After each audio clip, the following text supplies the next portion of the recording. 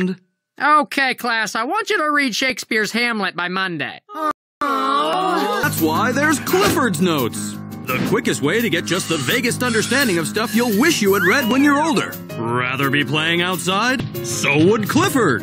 And with Clifford's Notes, you can. Because all those big books been shrunk into tummeries, letting you avoid your homework until late Sunday night. And when the time comes, you'll find Clifford's Notes waiting for you like a kid's best friend. Clifford's Notes presents Hamlet, Chapter 1. Oh no. Oh no! Why didn't I read that book when I had the chance? Clifford! Clifford's